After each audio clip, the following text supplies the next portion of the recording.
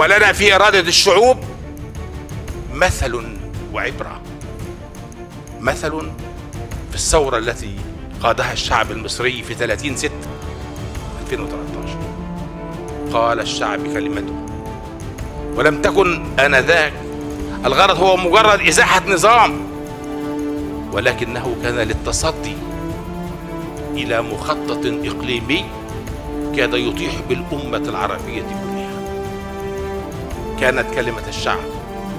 عالية مدوية. وقف معها المسلحة وأيدها.